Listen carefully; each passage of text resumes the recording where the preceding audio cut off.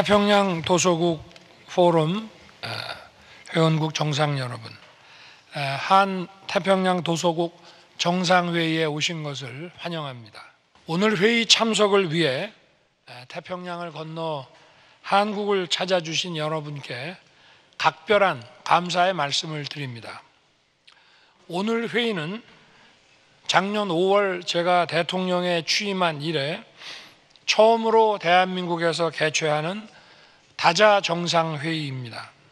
또한 대한민국의 인도 태평양 전략의 핵심 파트너가 바로 태평양 도서국 포럼임을 알리는 자리입니다. 이러한 뜻깊은 회의에 태평양 도서국 포럼의 모든 회원국을 초청하여 함께하게 된 것을 기쁘게 생각합니다. 동료 정상 여러분, 대한민국은 국내적으로 개인의 자유와 인권을 존중하면서 법치에 기반한 국정 운영을 하고 있습니다. 또한 국제적으로는 모든 국가의 주권과 독립 그리고 규범에 기반한 국제 질서를 존중하고 있습니다. 이에 따라 대한민국은 태평양 도서국을 포함하여 모든 나라와 상호 존중과 신뢰에 기초한 지속 가능한 협력 관계를 맺고 국제사회에 책임 있는 기여를 할 것입니다. 한국과 태평양 도서국은 태평양을 마주한 가까운 이웃입니다. 우리는 자유, 인권, 법치의 보편적 가치와 평화, 민주주의의 비전을 공유하면서 반세기 이상 우호적이고 성숙한 관계를 발전시켜 왔습니다.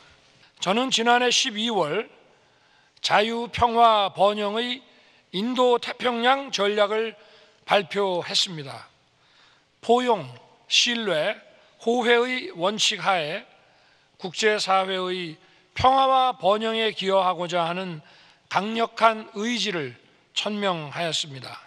태평양 도서국 포럼 정상들은 작년 7월 PIF 정상회의에서 PIF의 장기 발전 전략으로 2050 푸른 태평양 대륙 전략을 발표하였습니다. 평화롭고 안전하며 번영하는 태평양 지역 구축을 목표로 하는 이 전략은 우리의 인태 전략과 그 방향성이 일치합니다. 저는 여기 계신 정상들과 힘을 합쳐 PIF와 대한민국이 함께하는 상생의 파트너십을 추구하고자 합니다. 태도국의 생존과 번영에 직결된 기후변화, 자연재해, 식량, 보건, 해양수산 위기는 연대와 협력을 통해서만 극복할 수 있습니다.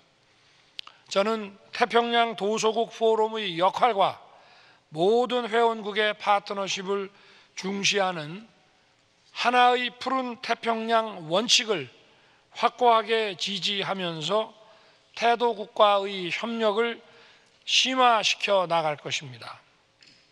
동료 정상 여러분, 오늘 정상회의는 한 태평양 도서국 협력의 새로운 시작을 알리는 중요한 이정표가 될 것입니다. 태평양이라는 광활한 바다에서 한 배를 탄 이웃인 한국과 태평양 도서국이 공동 번영을 위해 힘차게 항해해 나가길 기대합니다. 감사합니다.